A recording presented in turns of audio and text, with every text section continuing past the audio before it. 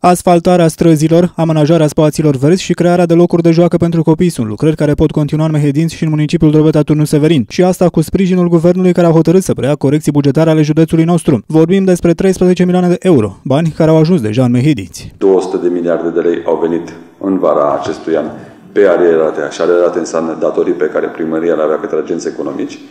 Astăzi, vineri mai, mai precis, în conturile primăriei au intrat 240 de miliarde de lei, adică 5 milioane 500 de mii de euro. Ori mânca în săptămâna aceasta să mai intre 2 milioane jumate de euro. Sunt corecții care au fost aplicate primăriei pentru lucrări care le-au avut în executare și comisiile care au venit și au verificat au considerat că sunt deficiențe. Știți foarte bine și este bine cunoscut faptul că Guvernul Ponta a luat decizia acum o lună de zile sau o lună jumate a luat decizia, în august a fost decizia, ca toate aceste arierate pe care primăriile municipale, consiliile județene le au la nivel de, de țară, să fie, fie preluate de Guvernul Ponta, Guvernul României.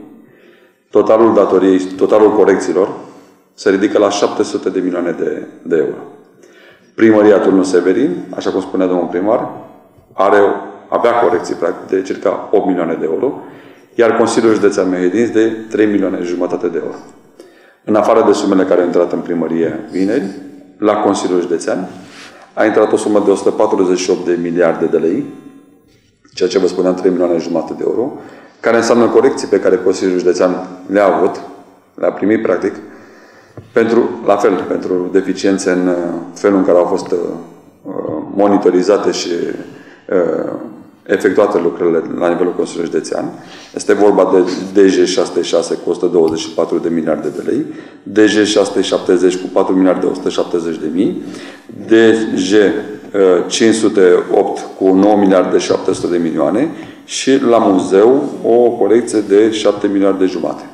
Deci, în total, 148 de miliarde de lei care au intrat în conturile Consiliului Județean. Corecțiile bugetare aplicate primăriei Drobeta Turnu Severin însumează 8 milioane de euro. Toți acești bani vor fi achitați de către Guvernul României, așa că autoritățile locale pot continua investițiile fără probleme. Practic, ni s-au rambursat 24 de milioane 200 de mii de lei, echivalentul aproape 5.500, 5 milioane 500 de mii de euro, corecții deja care fusese reținute,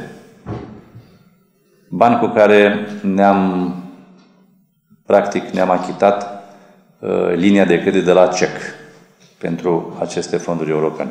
Urmează să mai primim în jur de 2.500.000 de euro corecții preliminare stabilite, bani pe care, bineînțeles, că îi vom folosi începând această toamnă, dacă este posibil, dacă nu din primăvară, pentru investiții pe domeniul public. S-a făcut un act de dreptate, era normal să se întâmple așa. Eu sper ca situația să se dezghețe definitiv din primăvară și dacă luăm în calcul și arieratele care ne-au fost uh, suportate în toamna lui 2012, în, noiembrie și, în octombrie și în decembrie, de aproape 200 de miliarde, 190 de miliarde, plus acești, acești bani stabiliți prin corecții care ne-au fost returnați de către actualul Ministerul de Dezvoltare, în mod cert, cu toate că poate unii răutăcioși, să le spun așa, sau răuitori, nu și-ar fi dorit ca la nivelul municipiului să continue investițiile, eu zic că trebuie să gândim pozitiv și cei care gândesc rău acum trebuie să gândească binele orașului.